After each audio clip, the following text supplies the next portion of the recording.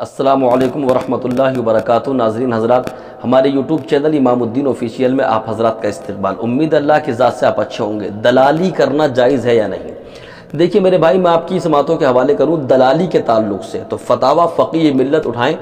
फतावा फ़की मिल्लत जिल्द नंबर दो, सफ़ा नंबर एक सौ नब्बे पर।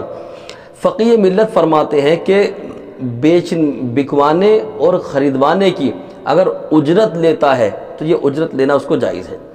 यानी एक शख्स वो है जो किसी का माल बिकवा रहा है और दूसरे को ख़रीदवा रहा है।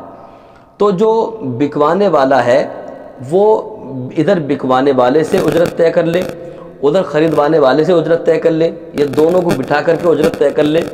तो ये उजरत अगर ले रहा है तो ये उजरत लेना जायज़ है। और झूठ बोल के अगर ले रहा है तो फिर ये नाजायज़ और हराम हो जाएगा।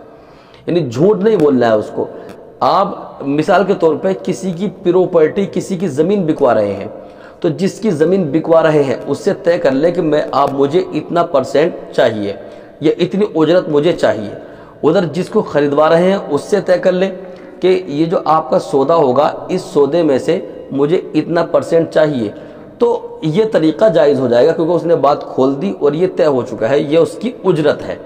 समझे? अगर झूठ बोल के बिकवाने वाले से भी ले रहा है, ख़रीदवाने वाले से, ख़रीदने वाले से भी ले रहा है। दोनों से झूठ बोल के ले रहा है तो झूठ बोल के लेना फिर ये नाजायज़ो हराम हो जाएगा। और नाजायज़ हराम जो हो जाएगा तो इसी को फिर दलाली कहा जाएगा। तो इससे पता चलता है कि बिकवाने वाले को चाहिए कि जब किसी का माल बिकवाए और दूसरे वाले को ख़रीदवाए तो पहले उजरत तय कर ले, ताकि उसके लिए वो हलाल हो जाए, उसके लिए वो जायज़ हो जाए। अगर उजरत तय करके ले रहा है तो ये उसके लिए बिल्कुल जायज़ है। अल्लाह पाक हम सबको अमल खैर की तोफ़ी अता करे। अस्तफ़िर रब्बी मिनकुल्ल ज़म्बिन वातुबिल वमा अलैना इल्लल बलाग।